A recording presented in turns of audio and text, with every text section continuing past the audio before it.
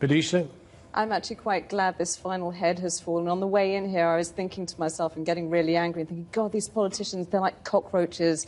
Osborne is going to survive.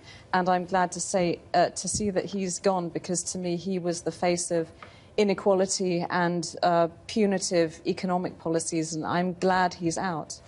Is that the legacy of this uh, particular Tory regime? Uh, the opposite, actually. Inequality's fallen under George Osborne. with about two million um, new jobs, with the, the poorest, the lowest paid have done the best under Osborne, and the highest paid have done the worst. That's been his legacy. It's a progressive legacy he and David Cameron uh, leave behind, and it's one that Theresa May will seek to build on. It's very difficult to look at what he's actually achieved and said this was actually bad for Britain. But that's odd because you can't tell from what she said that she wants to build on it. She actually wants to deal with privilege, cut it down, and build up the people who are at the bottom. That's exactly what David Cameron and George Osborne were doing. Who were free schools for? The least privileged. It was as a progressive government before, a progressive government now.